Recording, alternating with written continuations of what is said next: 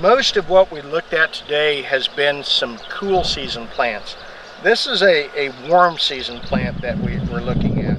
Even though all legumes technically are cool season plants, uh, this is a legume that grows very well in the heat of summer. This is Korean Lespedeza. uh, don't confuse this with Sericea lespedeza, a very noxious weed.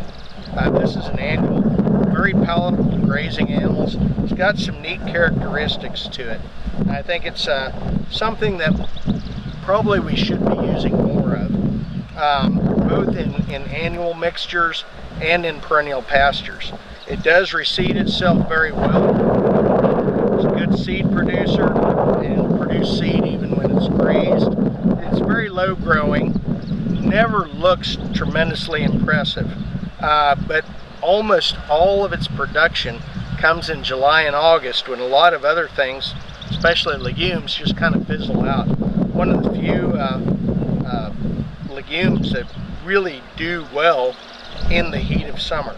Um, very nutritious forage.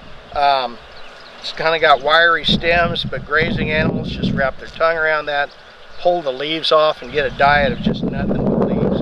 This is really as as animals are concerned. Also has a very high percentage of dry matter, so it's it's not washy or watery like a lot of other legumes.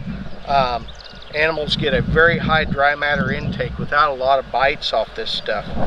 Uh, one other characteristic that is really, really unusual amongst legumes, and that's that this is quite tolerant of 2,4-D. So a lot of people say, well, I just want an grass mix uh, because I've got these weeds I need to take care of. You know, I just want Sudan and millet. I don't want any cowpeas. I don't want any mung beans. I don't want sun hemp because I've got these pigweeds and I need to take care of them. If you would like to retain the flexibility of being able to spray out some of your broadleaf weeds with 2,4-D, but still have a legume in the mix, this is one that can work for you. It's uh, one that I think we ought to be using more of.